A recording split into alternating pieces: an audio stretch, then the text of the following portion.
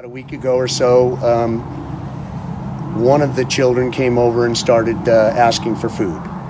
And it went on for a period of time until we kind of determined that he was probably reaching out.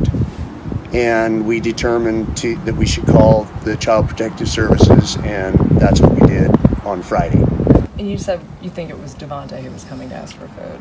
Oh, You know it was. it was was definitely. You guys have shown us pictures, and we've talked about that one, that it was Devonte for sure. Well, they obviously had Yeah. a, a separate lives. Their public life was presented, and, and they did it to us. They they portray this happy little family, and yet, you know, the night before, their daughter's telling us, please, please, please, begging us not to make her go back, and that they were abusing her. It's unbelievable. I mean, what you're showing me that they were part of that, and the pictures, it was not the family we saw next door. Yeah. I feel like there was nobody uh, in their court. I feel that if if there was people that knew these people, how could you miss that? Because I gleaned that quickly with hardly any interface.